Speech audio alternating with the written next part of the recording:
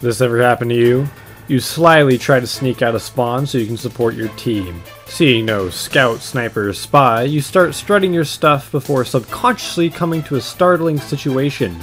You never looked skyward. Soon, you're sky-bombed, with your spleen being splattered and scattered all over while seeing the soldier responsible for your slaughter. And you type into the chat, try hard.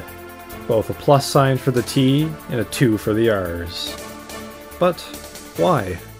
Scout is hated due to his mobility. Sniper is hated due to his range. Demo is hated due to his spam.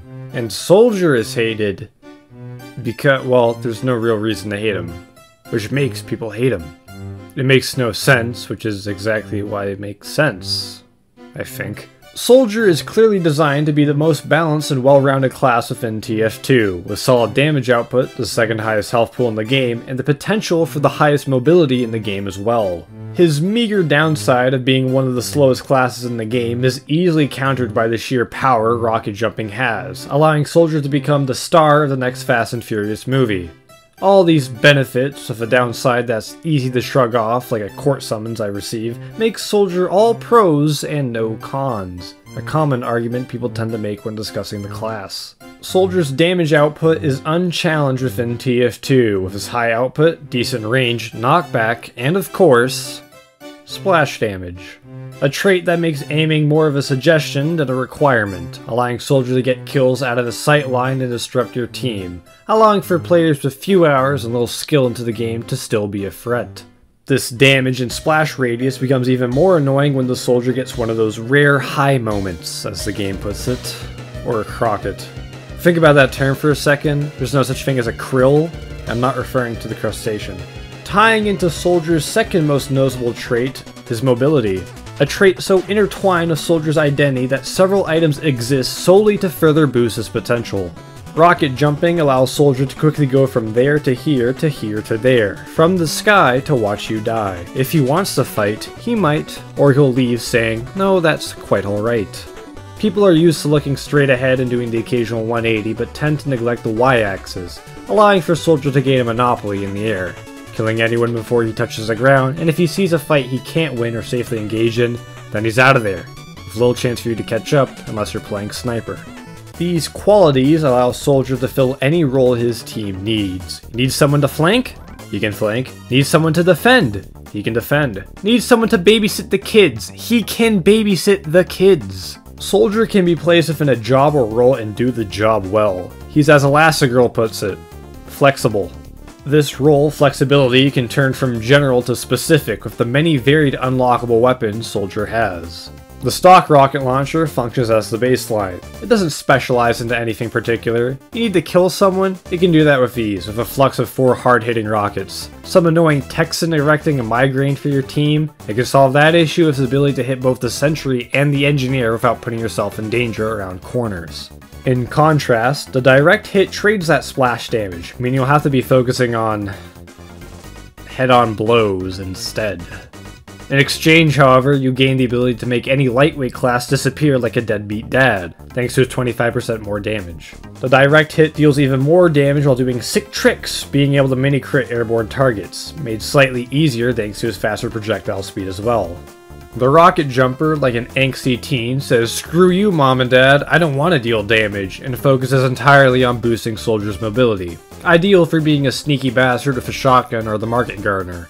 An extremely good soldier is a much scarier spy, because instead of worrying about a 180 degree radius behind you, you're instead worrying about a full 360 radius.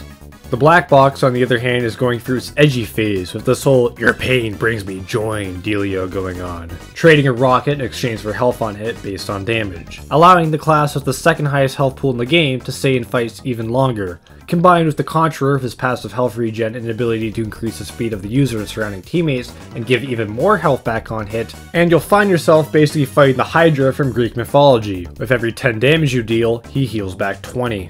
The Cow Mangler's claim to fame is that everyone thinks it's really good and competitive without realizing it's banned in competitive. Reason for this is that it doesn't use ammo, having an infinite reserve.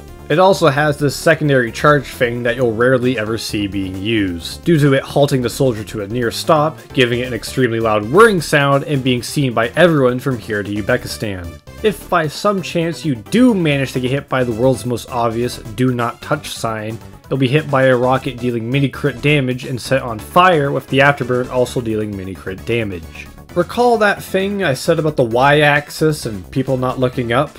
Well, the airstrike focuses on exploiting people's infused neck bones by gaining a surplus of bonuses while rocket jumping, such as increased firing speed and dealing less self-damage. Each kill with the airstrike adds another rocket to place in the clip, to a maximum of 8.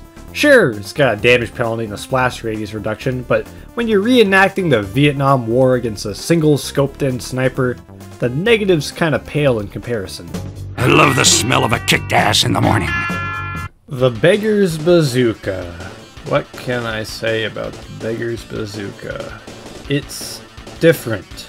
Soldier already excels in dealing with groups of enemies, but the Beggar's Bazooka just puts that into overdrive by launching three rockets instead of one all over the place. And I'm no mathematician, but my abacus here says three rockets hurt more than one.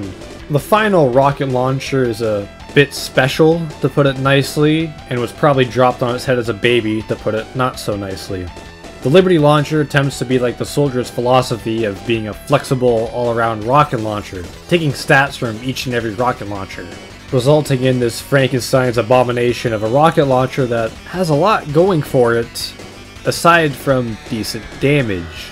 Despite this, it serves more of a setup weapon, relying on soldiers' secondaries to be truly effective such as the shotgun, panic attack, or even more impressive if used properly, the reserve shooter.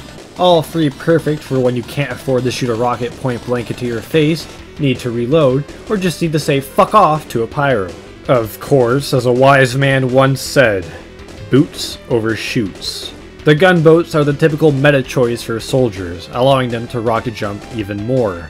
In conjunction, we have the Mantreads that also help with rocket jumping with his air control and Goomba stomp abilities, really solidifying that whole Y-axis attacker angle going on. Soldier also doesn't just work as a decent attacker or defender, but also as a support unit through the use of the banners. The buff banner provides many crits to teammates, resulting in a charge against your defensive hold and typically 5 dead teammates, unless you plan on using the extremely defensive battalion's backup, which not only provides Soldier with a passive 20 HP, further increasing his health, but also full immunity to crits, a 50% resistance to sentries, and a 35% resistance to everything else. And then there's the magic conch shell. We also have the base jumper and the righteous bison, uh, anyways, Soldier has access to a select few melee weapons that allow him to become even more mobile, such as the disciplinary action, which not only helps him but his teammates, or the escape plan,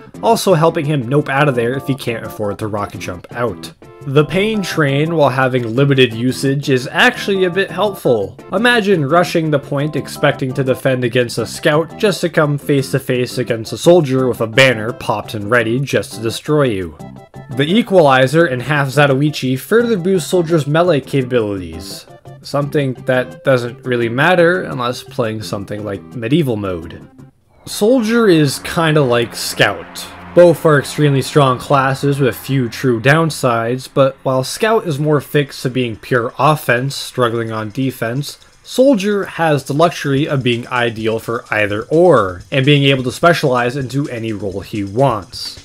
This lack of a downside or counter typically makes him the bane of most players since there's no real weakness to him. The closest thing he has to a true counter is Pyro with Reflex, but even then that's still a matchup in the favor of the soldier. The distance between classes is even further displayed through the sheer offensive and utility power rocket jumping has. I've heard extremely stupid arguments that because rocket jumping was originally a bug, soldiers shouldn't be able to do it. Clearly, these people have never heard about Todd Howard before. While other classes can try to dip into specializing into other roles, such as the Skaz Resistance being a more defense-based sticky bomb launcher, or the Sydney Sleeper, a support sniper rifle, none can do it as well as Soldiers unlocks, which can lead to certain loadouts being extremely difficult to fight against, such as the cliche Crunchbox combo or the cliche Tryhard. Leading to the creation of a class that could already deal with every situation, to now be able to thrive in any and all situations with few and negligible downsides to counter him. A jack of all trades and master of none.